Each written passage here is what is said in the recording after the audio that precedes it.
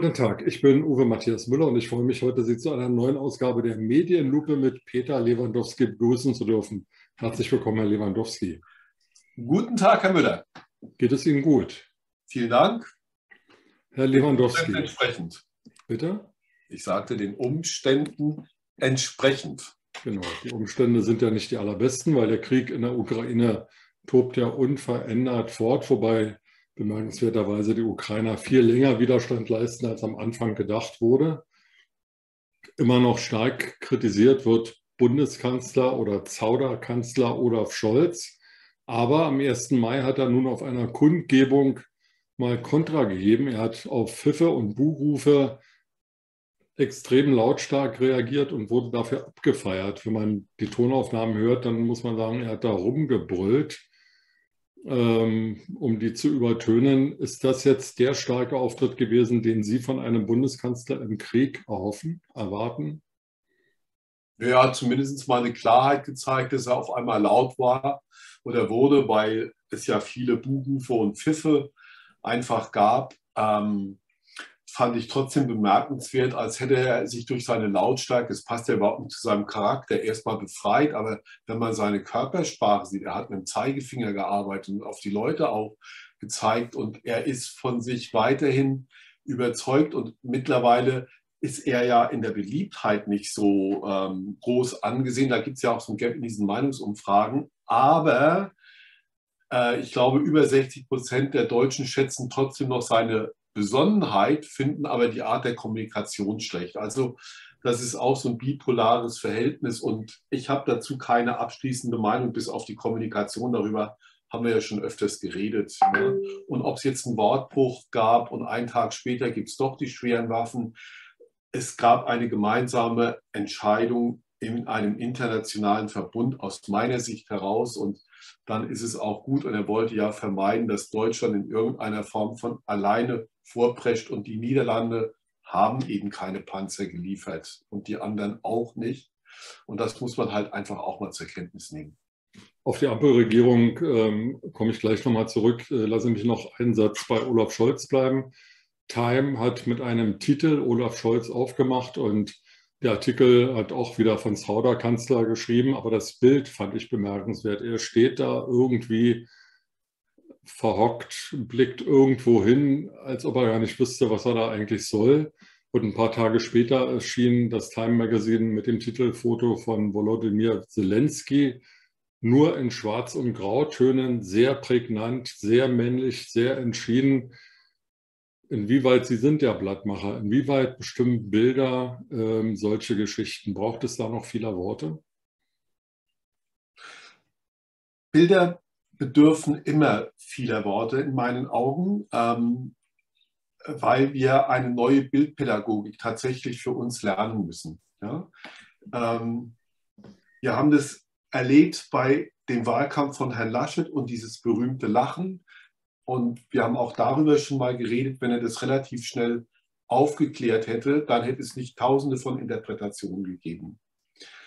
Ähm, der Titel in der, in der Time wurde, hat polarisiert. Also ich sage mal so, die FAZ oder die Bild-Zeitung, dann war es nur der Zauderkanzler und die Amerikaner geben uns recht. Aber der Artikel ist dann nur zum Teil richtig wiedergegeben worden, weil Scholz steht für ein verändertes Deutschland oder für ein Deutschland, das sich tatsächlich verändern muss und sich in einer neuen Rolle tatsächlich finden muss. Also es war nicht nur ein Anti-Kanzler-Titel, sondern es war auch eine Geschichte über ein, ein Land, das von einem Kanzler äh, repräsentiert wird, das sich momentan in einem extremen Umbruch befindet. Und für diesen Umbruch, auch mit den Zaudern und dieser Kommunikations, ich sag's mal, mit diesen Kommunikationsproblemen, dafür steht auch Herr, Herr Scholz. Wir merken jetzt ja auf einmal, dass wir auf einmal ganz andere Diskussionen auch kriegen. Alles schwarze offener Brief, ähm, schwere Waffen ja oder nein. Es geht so eine Kakophonie einfach los und das bezeichne ich dann als diese großen Mikrothemen, wo die Sachlichkeit ein Stück tatsächlich verloren geht und jeder hat noch was zu sagen und jeder fährt jetzt noch, ich fahre mit meinem Hund Sally jetzt auch noch in die Ukraine um dort vorstellig zu werden, um Staatsverantwortung als Bürger zu zeigen. Also wir reden dann über einen Ausflug von Herrn Merz in die, nach Kiew, wo ich sage, dann lasst ihn fahren, aber lasst uns das auch nicht nochmal weiter groß diskutieren, weil es hat überhaupt keine Relevanz. Am Wochenende war der kleine Parteitag der Partei Bündnis 90 Grüne. Dort hat Omid Noripur eine Rede gehalten, ähm, den Krieg in der Ukraine verurteilt, Russland verurteilt. Er hat sich hinter das 100 Milliarden Paket, das die Bundesregierung schnüren will, für die Bundeswehr gestellt. Er hat gesagt, äh, dass er unterstützt, dass schwere Waffen ähm, an die Ukraine geliefert werden. Aber das 2-Prozent-Ziel der NATO, also 2 Prozent des Bruttoinlandsproduktes, müssten aufgewendet werden für den Wehretat. Das würden die Grünen ablehnen, weil das würde nicht funktionieren. In den Titeln der meisten Medien hieß es nur, Grüne unterstützen die Lieferung von Waffen, Grüne unterstützen das 100 Milliarden Paket. Aber von der Ablehnung des Kernvorhabens der Bundesregierung, nämlich die Bundeswehr langfristig nicht mit einer Einmalzahlung, sondern langfristig mit zwei Prozent des Bruttoinlandsproduktes auszustatten, ähm, war da nicht zu lesen. Schreibt da einer vom anderen ab oder überhören die das oder warum schreiben die das nicht? Weil das ist ja ein echtes Verwürfnis. Wenn die Grünen nicht zustimmen, hat die Bundesregierung ja schon mal nicht mal mehr eine einfache Mehrheit, von der Zweidrittelmehrheit ganz zu schweigen. Also A werden die Grünen zustimmen, aber B gebe ich Ihnen recht, das ist unter den Tisch gefallen. Es hätte auch eine neue Diskussion tatsächlich aufleben ähm, lassen können. Ähm, was er vermutlich damit meinte, ohne ihn verteidigen zu wollen, ist tatsächlich, wir wir, die Grünen, sind eine Friedenspartei. Ich bin der neue Parteivorsitzende. Ja, das kann man ja auch mal alles so aufgreifen von dieser, dieser Psychologie dieses Mannes her. Und er hat ja auch nochmal gesagt, wir Grüne werden immer für den Frieden stehen. Ich interpretiere das so, dass er nochmal ein 2%-Ziel in Frage stellt, um, um in eine Diskussion zu kommen. Wie sinnvoll ist das und wie hoch wäre dann der Wehretat tatsächlich? Weil wir haben ja auch ein sehr hohes Bruttoinlandsprodukt, darf man ja auch nicht vergessen. Das war ja immer die Argumentation der äh, bisherigen oder vorhergehenden Regierung, dass wir schon wahnsinnig viel leisten, auch wenn es nicht ganz gestimmt hat. Also geht es auch darum, wie werden wir künftig Gelder tatsächlich verteilen. Das kann man diskutieren.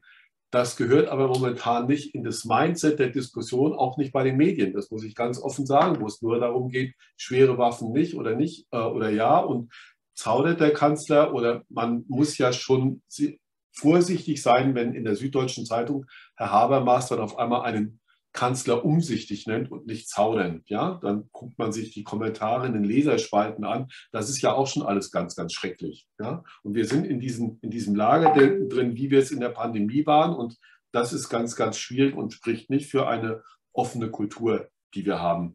Ich gebe Ihnen aber recht, den Medien ist ein Vorwurf zu machen kurz anderes Thema. Ich wollte heute schon beim Deutschlandfunk anrufen, nachdem ähm, in einer Sendung über unsere Verantwortung mit einem Soziologen über unsere persönliche Verantwortung für den Klimaschutz gesprochen wurde.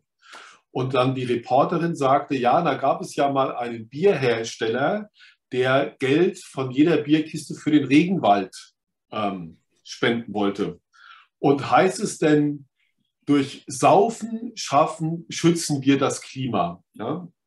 Und das hat mich wirklich wütend gemacht, weil es war alkoholfreies Bier. Ich nenne die Marke auch Krombacher und Günther Jauch, der die Werbung gemacht hat, steht für, ich kenne ihn für alles andere als Alkoholgenuss.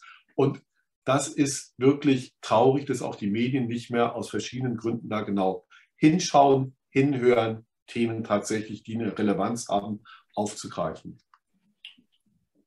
Einige wenige Tage äh, wurden wir abgelenkt vom Ukraine-Krieg, von der Inflation, von Altersarmut, von allen anderen Problemen, von der Abrodung des Urwaldes in Brasilien, dadurch, dass Boris Becker mal wieder vor Gericht stand und sein Urteil erwartete. Er soll Insolvenzverschleppung begangen haben. Da geht es um einen Rechtsstreit mit einem, der ihm mal einen Kredit gegeben hat. Das ist eine komplizierte, lange Geschichte, die uns jetzt nicht interessieren muss.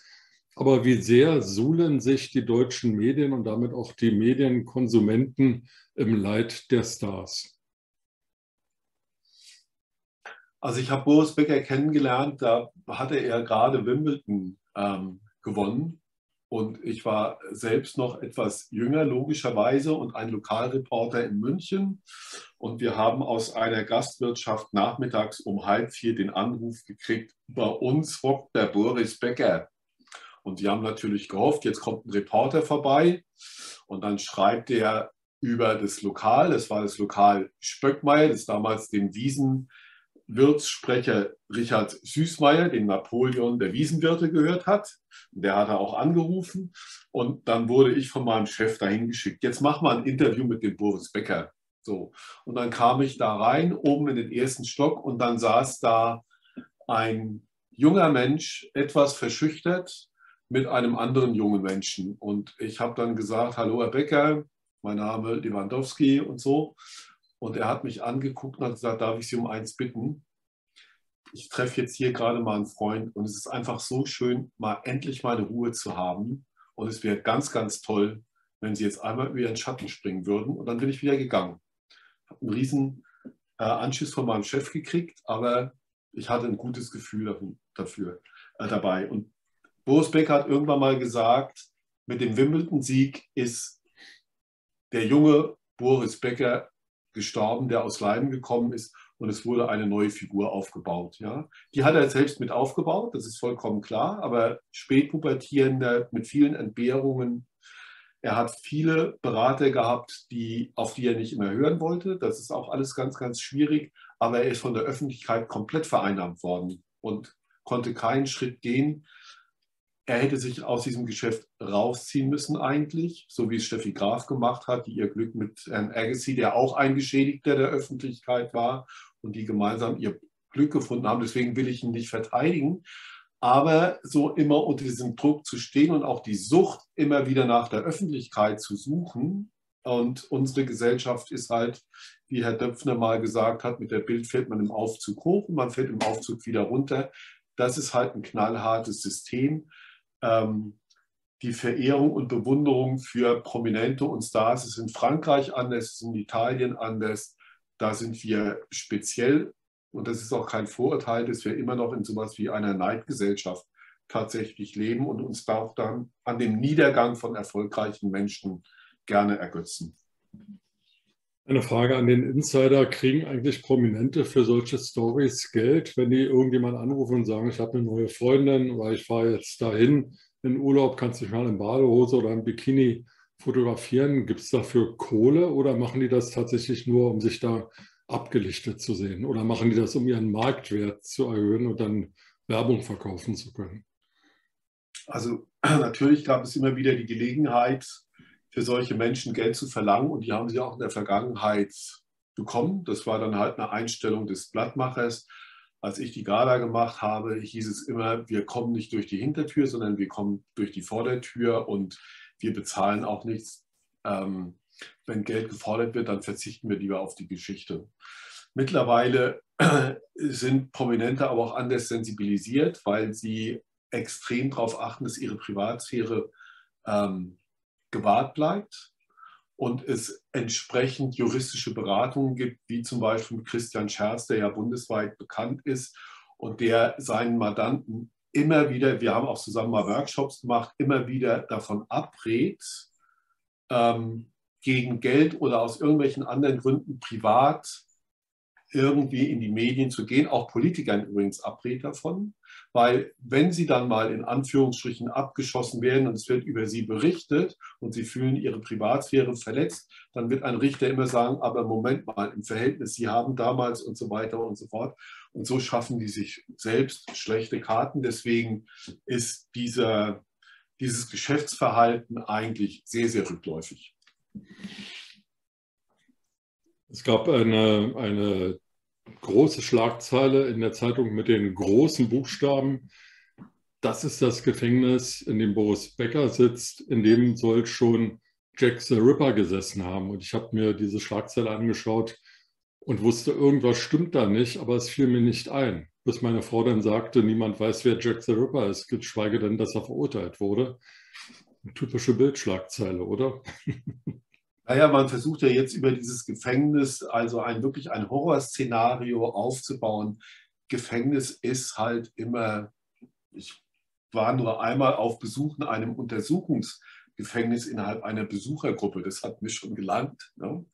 hier in Hamburg. Ähm, das ist mit Sicherheit nicht schön, das jetzt noch weiter schwarz zu malen. finde ich ganz, ganz schlimm. Ja? Und auch da sollte man ihn mal in Ruhe lassen, weil auch Medien haben ja eine Verantwortung. Der Mann hat Kinder, zum Teil auch junge Kinder und äh, das muss ja alles nicht sein. Viele Kinder, viele Frauen, genau. Einer es von gibt uns. auch andere Politiker, die haben noch mehr Frauen und noch mehr Kinder gehabt. Darüber reden wir beim nächsten Mal. Ja, Danke für heute, Herr Lewandowski. Sehr, sehr gerne, Herr Müller. Bis dann. Bis dann. Tschüss. Tschüss.